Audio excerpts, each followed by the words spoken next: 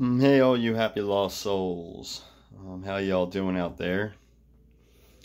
Um, just making a quick video again with some of the artifact stuff.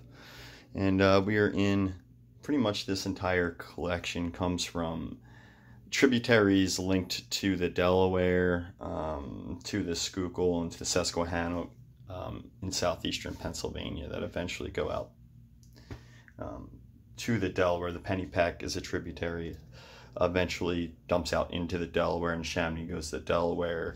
The Wissahickon um, kind of does a U from one part of the Schuylkill back into the other, back before the Schuylkill goes down into the river.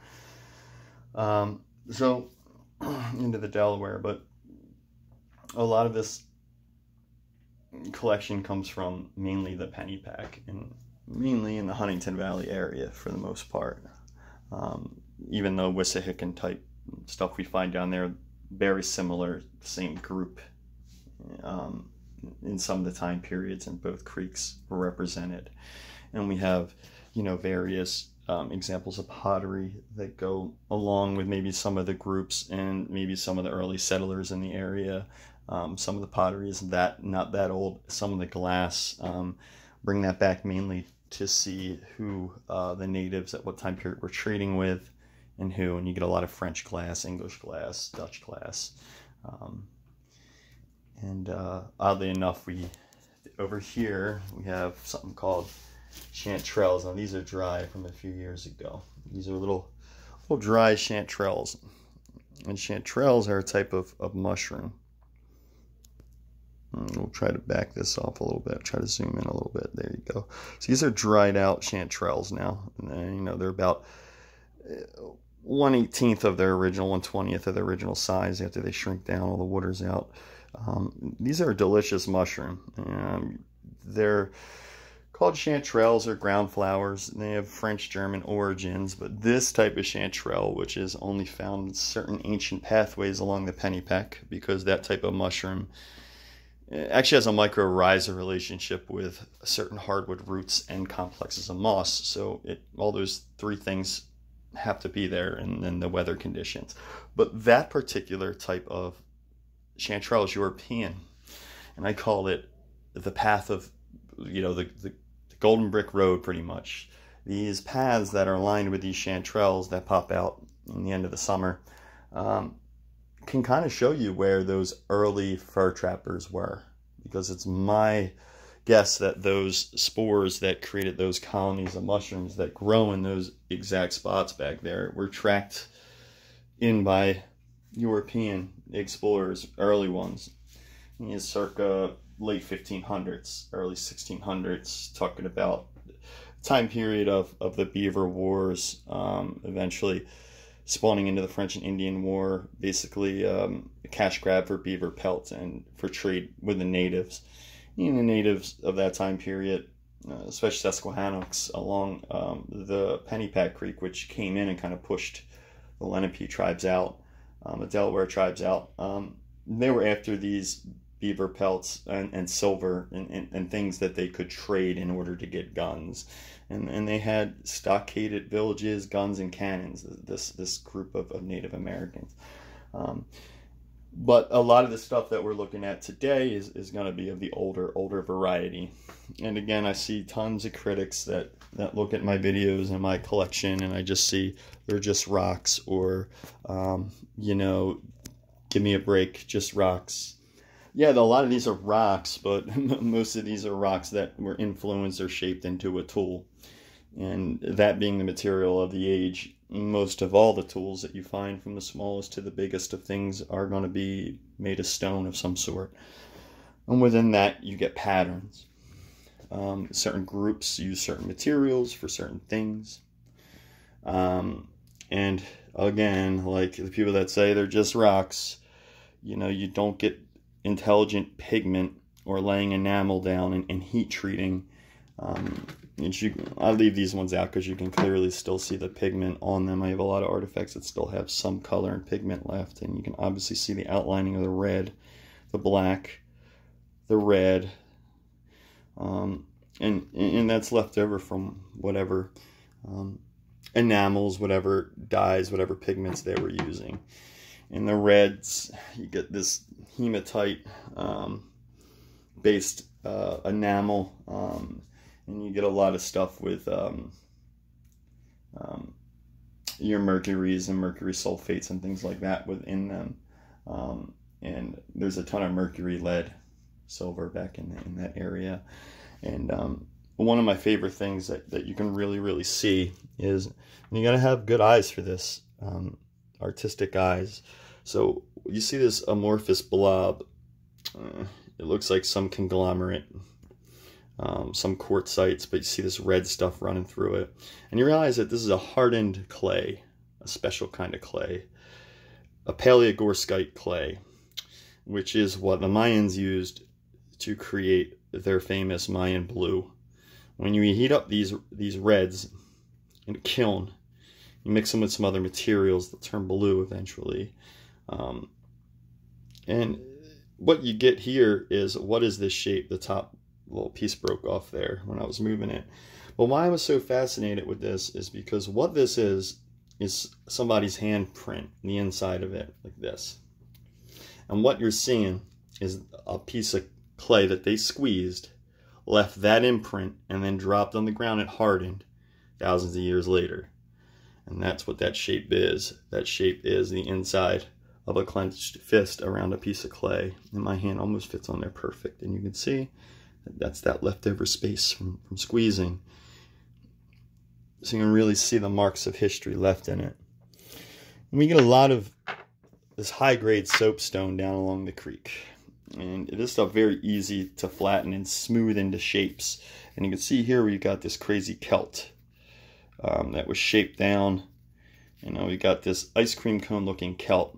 And we see a very similar style celt made of a silver, a very, very rich silver ore right in here.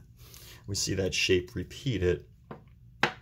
We even see a very ice cream cone shaped looking effigy type celt and you can still see the lacerations and scarring from uh, either sinew or leather, or whatever they use to attach this to a staff, or it's probably a goose head effigy.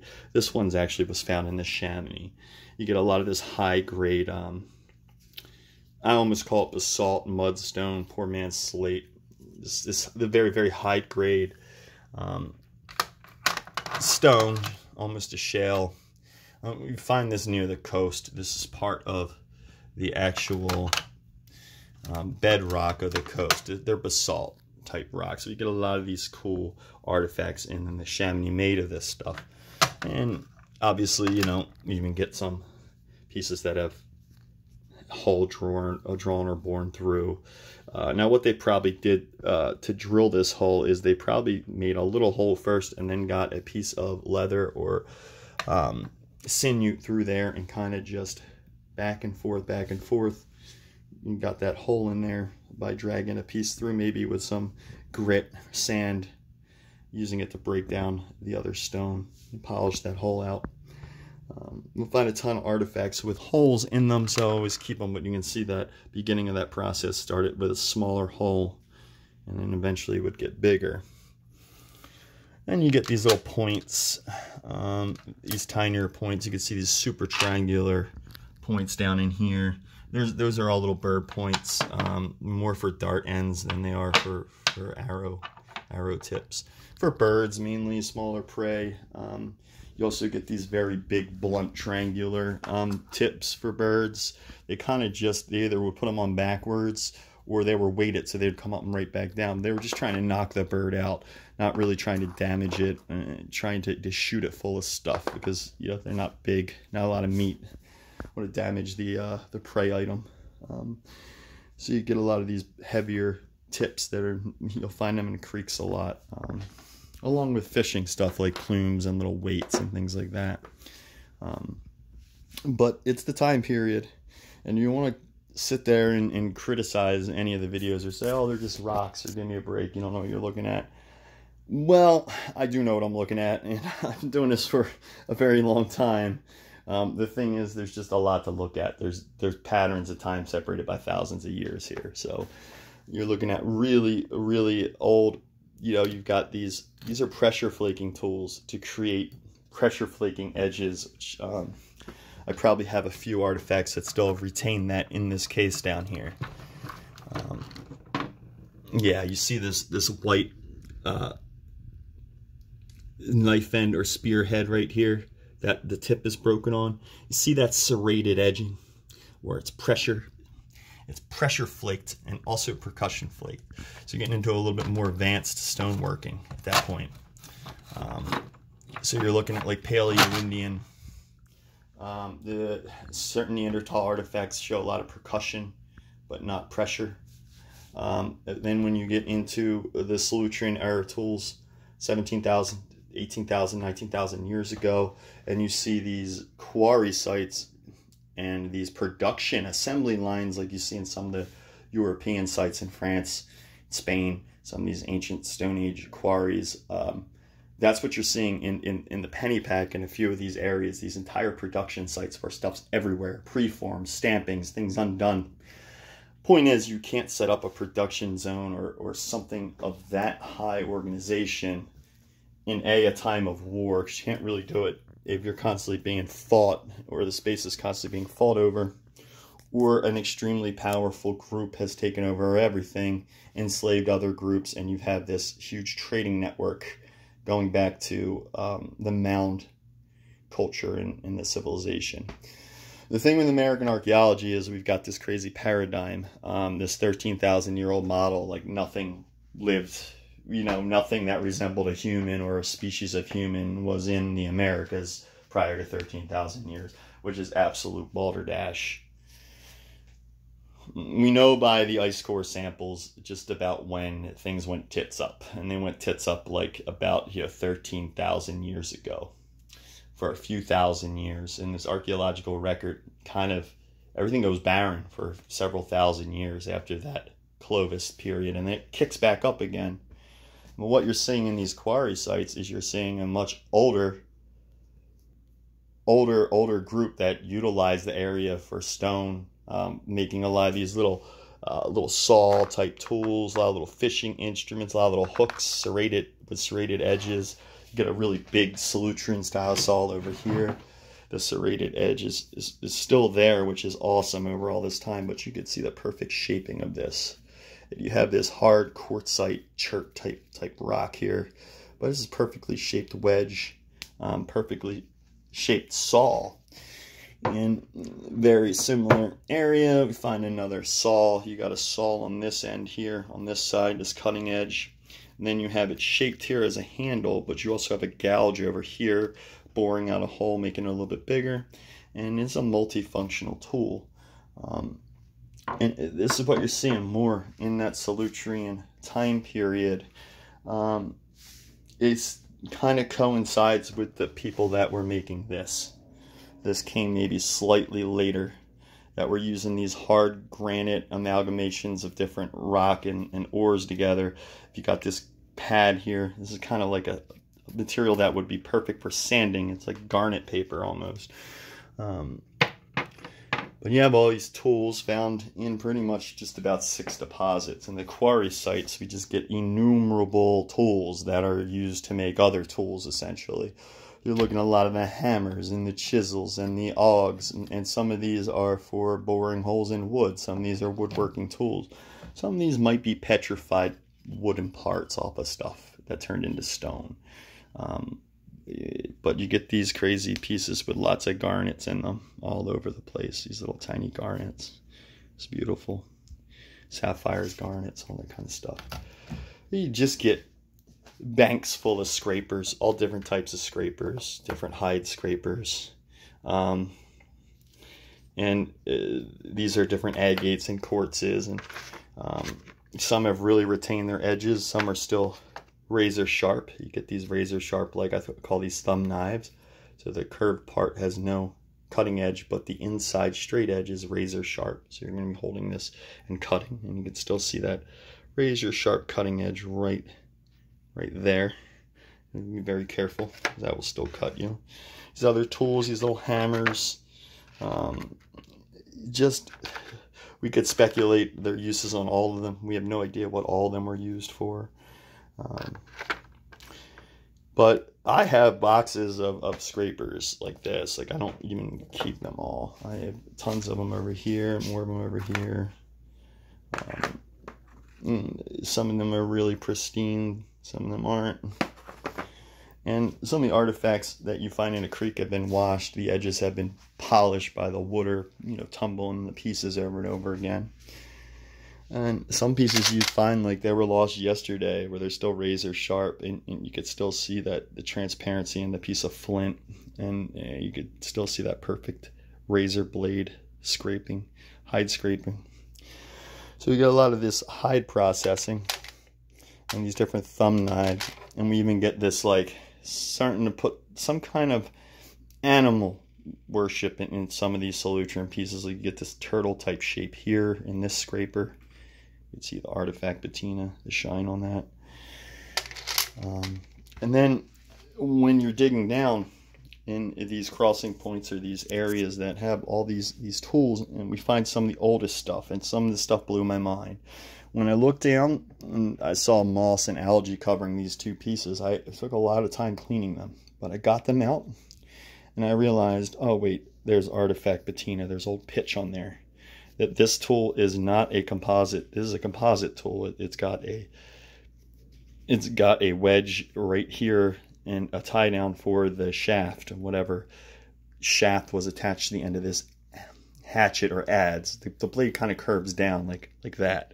So it was probably for maybe for for scooping, cutting or scooping out a wooden log to make it hollow. Um, what I think I'm I'm I'm seeing, and this is a jump, this is a stretch, um, because I have to, you know, be a little more specific in, in looking for certain types of artifacts. But you start finding these longer needles, these very long type of needles, and then these other type of wood type working tools and, and wood shaping type tools. You're looking at like a primitive boat making operation essentially. And these long, long points, needles, I think a lot of them were probably made out of bone or antler, and we don't have a lot of them left. But some of the stone one, some of these pieces, we do have left. And these giant long needles are probably for sewing hide boats together. And a lot of the, the most advanced ships, the ones that the Neanderthals and the Denisovans, which the Denisovan genotype, as far as the DNA um, is concerned, is, is from Australia, uh, the oldest living people of Australia. Um, and the Aborigine DNA shows up in the most ancient people in South America, the Denisovans, and the most ancient blood group of this other species of people that we don't know much about because we only found a few trace fossils uh, and a couple artifacts one including this jadeite torque, which is a type of bracelet with a perfect fixed high-speed drill hole through it. You know, this artifact is early as 60,000 years old, made by the hands of a relative of, of, of human, probably more resemblance to Neanderthal than, than to modern human. Although we're all related species because we can cross you know we can crossbreed we can mate with one another. So that means we're technically we're the you know we're not that different. Um, these people were just as smart probably bigger more wholesome than us. Um, but uh, they definitely had some form of language. They definitely had uh, burial customs. They definitely had art. Um, they were all sense of had the same mind and brain capacities as modern human um, and I think when I say North America Neanderthal, when I bring up these buzzwords that generate a lot of hype, um, this is what I'm saying. I'm saying that there was definitely a group of people making tools that were non composite, like the tools they find in Africa, that were made by primitives, cousins, distant relatives, hominids that weren't quite human yet. Um, Australopithecus, I think was the name, and uh, the other one.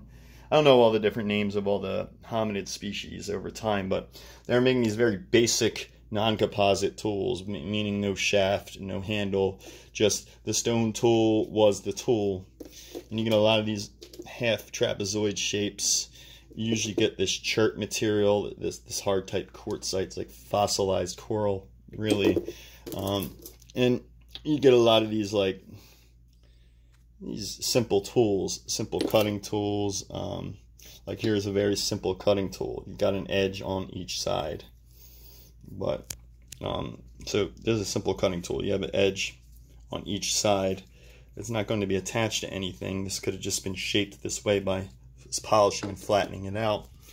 Um, but these are, are much more primitive. They're older and they're ancient and they're down right in that first layer before bedrock. Um, and then after that, um, before the 13,000 year stuff, before the Clovis stuff, we get all this Solutrean type stuff. We get some um, different uh, high advanced flaking, like this willow leaf point down there. Um, we get these little like stemmed points, um, these Dalton shaped points over here, bifacially flaked on both sides. And, then as you get later, you get, um, as you get into the Paleo-Indian, um, out of the Paleo in, in, uh, Indian into the woodland time frame, um, talking like a thousand, uh, you know, BC to like a thousand AD into that new woodland period and neo woodland period. You start um, seeing conflict, a lot of conflict as different Native American groups run in and, and, and vouch for resources such as beaver, uh, the good stone, uh, silver, uh, iron deposits, um, good hunting ground, uh, resources, you start seeing a lot of conflict. And here's a really old um, stone tool. Now we can see some staining in it, but I, I, pulled this one out of out of my box. I have tons of different bigger stone tools, just to see that this is not a rock. So we start with this flat side, and somebody has literally struck grooves on the front here and flattened that front side. The back side is now percussioned out with a big percussion whack to get this whole this whole concave cutting area here. And then this area, if you could see closely here, this is this pressure flake to make it sharper even yet. Uh, so you have an implement that's sort of doing this kind of thing, or for sawing and for cutting. And this is probably, because it's notched right here, this was probably shoved into a shaft and you've got something where the blade sticks out the side and you got a reaper, maybe for cutting down crops, clearing out vegetation, um, more of an agricultural type thing that could be quickly turned into a weapon of war in conflict. Um, but then we see a lot of like the Susquehannock type celts, which are extremely triangular. We see a lot of boar celts in that area, which I don't have that tray out right now. I'll have to go through that. And then at these sites where these deep holes are, where these crossing points, where this ritualization, this practice is going, these beautiful things are, are, are left, like these animal effigies that are like made out of beautiful like Jersey quartzes and um, like crazy tools that are that are made like ornately left like made out of this crazy serpentine and then the end of another tool that was made out of this crazy you know striped or bandit stone or petrified wood of some sort. You start getting effigies. Like i told you they worship the snapping turtle a lot in the Pennypack and the turtle clan was down there. Here is a side profile of a snapping turtle. This is a quartz shaft straightener really for straightening shafts, um, for arrows and for spears, but they made it in the head of a snapping turtle. it's really neat because this one stands, like it stands perfect and it's, it's, it's counterweighted to stand up like this. So, and these guys, you can watch these guys in the firelight. You can, you can watch the fire go over them and you can see the eyes and the mouth and you can see movement. And you can see that it's done with a lot of intent. Um, and you get these animal profiles. And that's going into this like neolithic time frame coming out of the hunter gathering time frame into this planning time frame and then you see these vast uh, vast systems of organization as far as these quarry sites that come from a much older people that for lack of better term i call the Solutrean they may not even come over from there but it was a time it was a group a large time period prior to 13,000, there's people on this continent going back 100,000 years.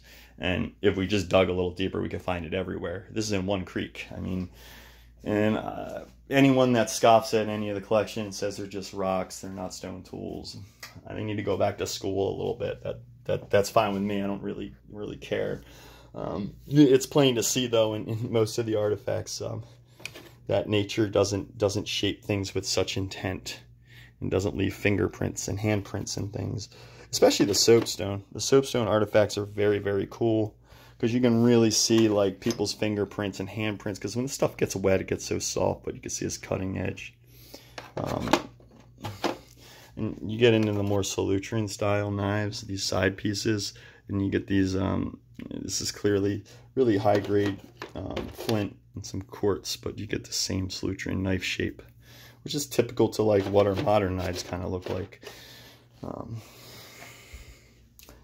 but yeah, this is um, most definitely fascinating stuff. And um, it's most definitely not just rocks. A lot of it is rocks, but a lot of it is shaped rocks, aka meaning stone tools.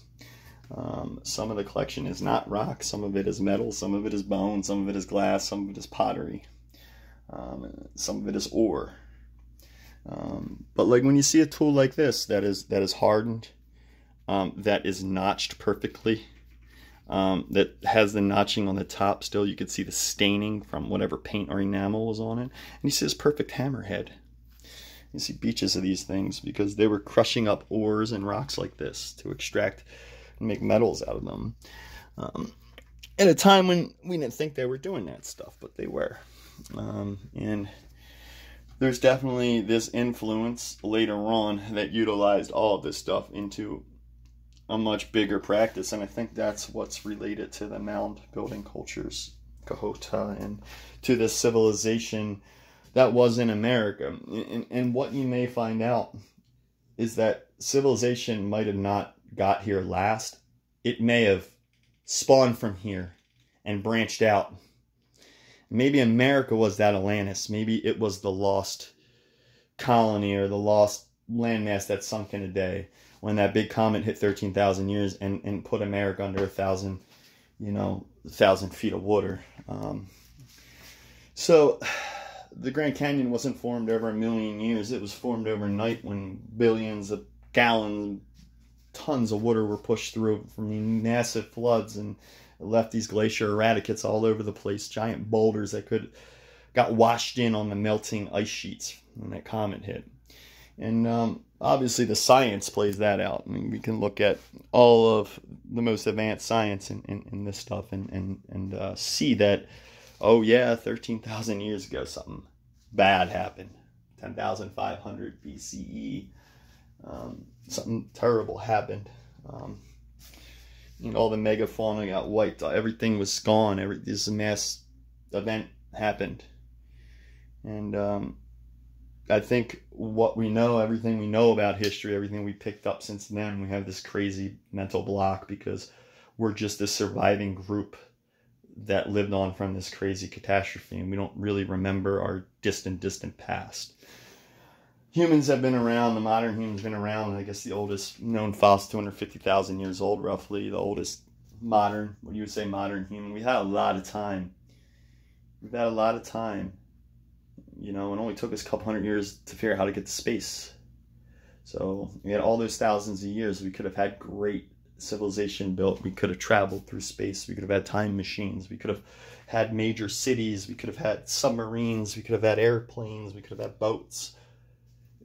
And if a cataclysm like a comet happened and so devastatingly wiped out everything, you would have no history, very little bit to put back together.